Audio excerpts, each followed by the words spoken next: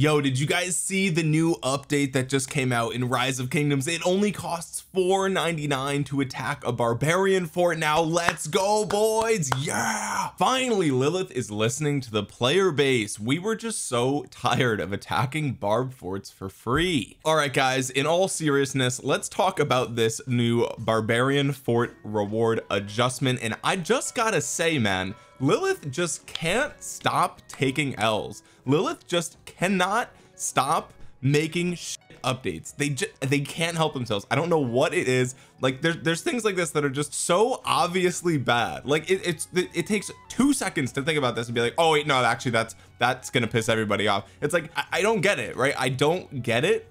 I, don't understand like maybe the people who develop this these updates don't play the game or I, I don't know what it is. Like I, I genuinely don't know but today let's just talk about the barbarian fort reward adjustment okay? I love that. Adjustment. It, oh, we're just tweaking it a little bit. No you're fucking ruining it. Like you're ruining it. That's literally it. Don't even sugarcoat it okay? I'm gonna just say this right now okay? Lilith is trying to cap the amount of AP that you can get from doing barb forts. So if that sounds like something you are not happy about there will be a pinned comment down below with a link to the official rise of kingdoms discord uh, and there will be suggestions there that you can vote on. Uh, I recommend that you guys go over to the official discord and vote on suggestions that you think are better than this because this is garbage. Like this is obviously no one thought this through. Clearly no one thought it through. So that is my number one recommendation before we even go any further okay? That is something that you can do right now to make your voice heard. I will say though do not harass the moderators. Do not harass customer support. Do not harass VIP support. That is the quickest way to make sure that they do not listen to you okay? And, these people that work as mods or in customer support they have no control over day-to-day -day operations of the game okay? All they can do is submit your feedback and if your feedback is just cursing at them and doing and death threats then that's not helpful at all. So please do not be obnoxious do not be offensive do not be spreading hatred or anything like that okay? Just go to the official discord and let your voice be heard in a concentrated and understood manner. Again there will be a link in the pinned comment to a specific suggestion in discord if you guys don't want to go through all of it. I, I already have one it's pinned down below. So let's start there. And I just gotta say videos like this one I make videos like this because I have the game's best interest in mind and I have the players best interest in mind. However because of videos like this I will probably never be sponsored by rise of kingdoms. So the only benefit that I get from shooting myself in the foot with videos like this is your support. So please drop a thumbs up on the video. It really helps me out a ton. Okay with the actionable portion of the video out of the way let's actually go over this okay? Because whenever these updates come out and the reason that this video is delayed right is because I like to play devil's advocate right? I like to look at these things and at face value sure this looks horrible but I like to think about like okay well why are they really doing this? Is there actually a reason that they're doing this that maybe will benefit the players in the long run that maybe we just don't see right now? And I've come to the conclusion that there is not a good reason but let's at least go through it together so we can sort of understand what's happening here okay? So they say in the interest of maintaining balance we have made the following adjustments to rewards gained by destroying barbarian forts including marauder encampments. After destroying a fort all governors who participated in the rally have a higher chance of receiving between 50 and 100 action points. That sounds good right? That sounds fine to me. Right now the drop rates for these are pretty low and everybody knows that getting action points is the reason that people grind barbarian forts.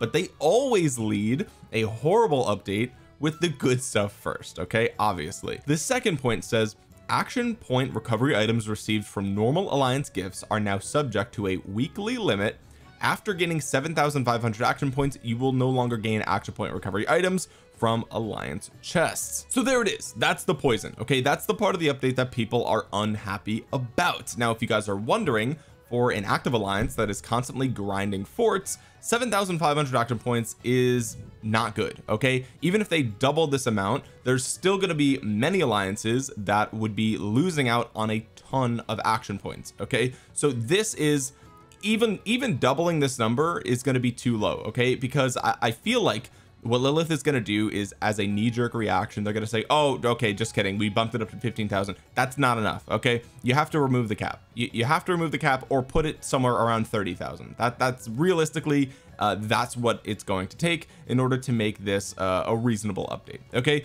So let's just take a step back and, and and think about what are they trying to do here? What Lilith is trying to do is reduce the amount of grinding that is required to get action points. And honestly that's a good goal okay? I think 24 7 barb fort grinding is not good for the game that does not respect players time it's not fun it's not an enjoyable activity it's not something people want to do they feel like they have to do it in order to get the most value out of barb forts okay? And honestly I don't like grinding barb forts. And you know unless we're in KVK and there we're in between passes or something I'm really not going to spend that much time grinding forts okay? It's just not a fun activity. It just it just isn't okay so I can understand Lilith wanting to reduce the amount that players feel that they have to grind in order to get the maximum amount of benefit. The problem with their solution here is that it's it's it's a 5 IQ play okay? There, there was no thought put into this. They were just thinking like oh okay well you know we'll make it easier to get action points and then we'll just cap it and we'll call it a day. When in reality you have to ask yourself why are players grinding for action points? Like think about it. Players are grinding forts for action points and action points in themselves the only thing that they do is enable players to grind again later.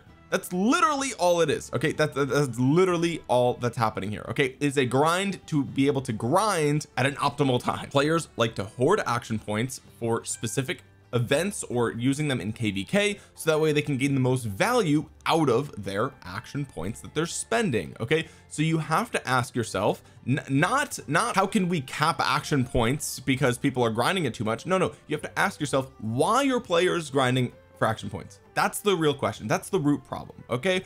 And the reason that players are grinding for action points the reason that players feel that they need to grind for action points is because this game does not favor free-to-play players. It simply does not. There are so few things that you can do as a free-to-play player to maximize your effectiveness maximize your value maximize the rewards that you get from events okay? You only have a handful of things at your disposal if you're not going to spend any money in rise of kingdoms okay? And action point grinding is one of the only things that as a free-to-play player you can do to play this game effectively and even try and attempt to compete with the people that are spending a lot of money in this game right? You either spend time or you spend money. Those are the only two things that you can do in rise of kingdoms to gain an advantage. So the real solution to this problem is to make action points less valuable by giving players more of what they gain from events. Action points themselves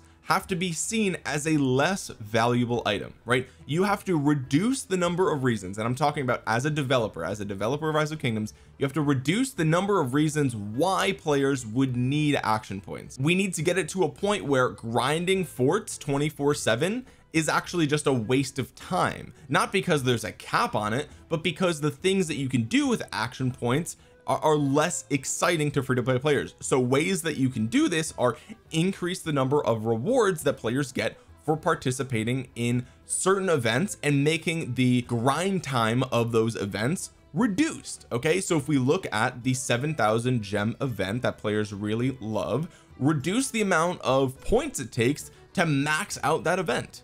It's simple as that. If you if it if you cut the amount of grinding it takes for that event in half well then people aren't going to need as much action points to grind barbs during those events because they'll be able to complete the event in its entirety okay? And maybe you give more rewards for that. And I know right now Lilith is shaking in their boots. They're like oh my god give more stuff to free to play. What do you mean give more stuff to free to play players are you not happy with the crumbs we've given you thus far? No! No! They're not happy and the the evidence of that is 24 hour uh, barb fort grinding right nobody likes to grind barb forts for 24 hours a day. So you have to ask yourself why would people be doing this? Because they feel like they have to do it to get the rewards to keep themselves competitive. That's it. So if you really want to cut down on the amount of grinding that people need to do to enjoy your game give them more rewards for less effort it's literally that simple. And I know what you're thinking. You're thinking Omniarch. Okay well if you know if, if I'm a whale and I just spent five thousand dollars uh, on this game and I and I did it so I can max out these commanders and now all these free-to-play players are going to get a bunch of universals and they're going to max them out for free well then I just wasted my money. It's like no no because you also have the option of getting that stuff for free. Don't you see? You also will be gaining gaining the benefit if you have time to play the game. If you don't that sucks okay? But great news there's a million ways that you can spend your money on the game in order to make up that deficit between you and a player who has time to spend. I only had to think about this for like five minutes. Just five minutes to think about is barb fort grinding bad for the game? Yes obviously. It's obviously bad. It's not fun. It takes a lot of time and it's boring. Obviously bad for the game. You don't want your game to mostly be boring grinds. That's not good for the health of the game okay? But is putting a cap on that the answer no no because here's the result of this right? Let's say that Lilith goes ahead and they do this regardless despite all the backlash over on discord and everywhere else okay? Let's say that they go ahead and do this. Now players will simply spend less time playing rise of kingdoms right? That's the direct outcome of this. Players get less action points in total and they spend less time doing barb forts which means they're just logged into the game less. There's really not that much to do in this game during an off season okay? If there's not a holiday event and if you're not in kvk there's not that much to do okay? You need a reason to log in. So the outcome here is that players get less rewards less action points and they spend less time playing the game. So you have to ask yourself if you're developing a game and you release an update where it leads to players playing less is that a good update or a bad update? And, and, the game devs can answer that question for themselves but everybody knows that if you release an update and it leads to players playing less that's not a good update. Like that's literally data. That's literally data that tells you objectively like oh people are playing less. Like that's bad. That's not good for the game. Because there's only two ways that people can really objectively show that they like rise of kingdoms. There's the time they invest in engaging with the game whether that's playing the game talking in discord communities sharing stuff on facebook or twitter or youtube or whatever or spending money. Those are the only two things that are valuable to Lilith. And this update in an attempt to reduce grinding provides no real alternative in terms of value. Like yeah they're saying oh we'll increase the drop rate but the cap is still the cap. This still ultimately leads to less action points gained. So the outcome of this update is fewer action points fewer rewards less time playing the game and then the, and then they sit back and wonder why people are freaking out about this. It's like again five minutes. Just think about it for five minutes. Now one other thing that you can do in response to updates like this is play a different game. Like straight up at some point it becomes impossible to continue begging the developers to do what's obvious. So when they release updates like this try a different game. There's a tons of games like rise of kingdoms there's land of empires there's infinity kingdom there's other games in the mobile RTS genre that you can try out if rise of kingdoms is continuing to release updates that you don't think are good. The competitors to rise of kingdoms are also free. You can literally play another game just like rock for free. Don't keep giving a game your time and effort if every single update they release something that is detrimental to your experience. With that being said guys if you enjoyed the video drop a thumbs up on it. It really does help out the channel a ton. It helps get this video out into the algorithm so other rise of kingdoms players might see this. Subscribe to the channel if you're new here and click the bell to be notified the next time that I upload a rise of kingdoms video. Comment down below your thoughts on this change to the barbarian forts. And with that being said guys thank you so much for watching. This has been Omniarch. I will talk to you guys again soon. Peace